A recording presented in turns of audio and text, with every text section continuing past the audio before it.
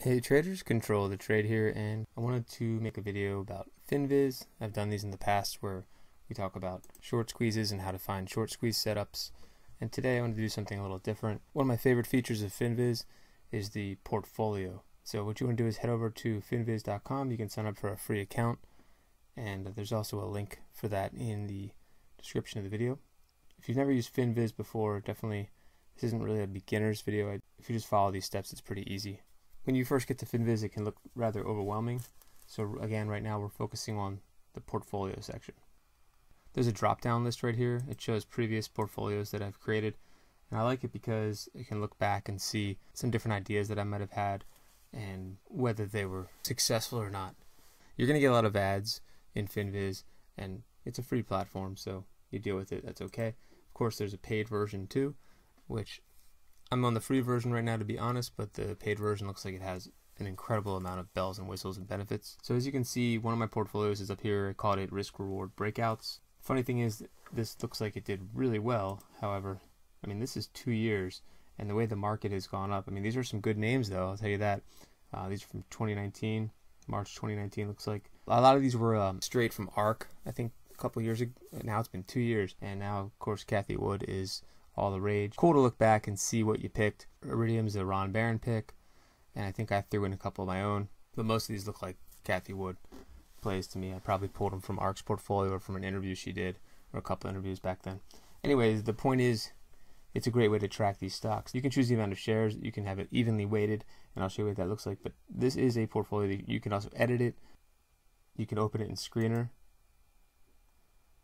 so then if we want to just take a look at the charts on these, you can just go like this. I think that's a pretty neat feature. But let's this video is about how to make the portfolio, not so let's take a look at how to do that. So there's a couple ways. We're back at portfolio, and you can see here we can also create a new portfolio, even while I'm in this one right here. So this one you can do from scratch. You can start typing your tickers in, the date, the shares, the price, and you can do get today's price. Let's just try this real quick. We'll do Pfizer 500. Get today's price. There we go. Intel. So this is a slower way to do it, I'd say.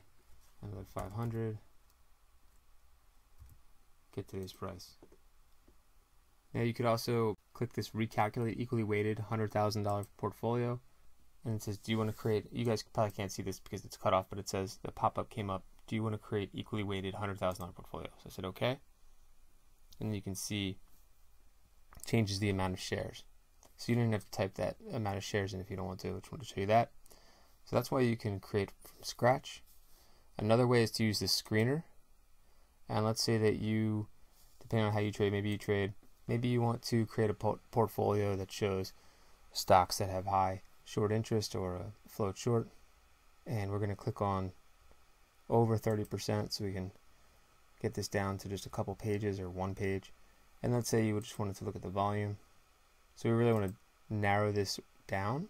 So let's go to so let's go to average volume and we'll, let's just say over 1 million. Hopefully that should get this list down. Okay, one page. So now I can make a portfolio out of this one page if I wanted to and just track these stocks. So these are stocks that have a high volume of shares traded and also have a high short float as well. So what I would do is click on Save as Portfolio. And then I got another pop-up here. Again, you may not be able to see it. It's cut off in the video. Do you want to create equally weighted $100,000 portfolio? I say OK.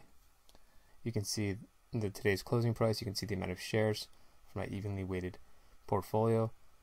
And that's how easy it is to just make one quick portfolio. And you also want to go over here, this is important, is you want to make portfolio name. So we can call it something like short.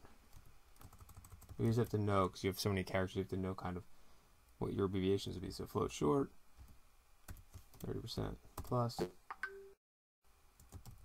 And you could put the date, or you could put anything you want here.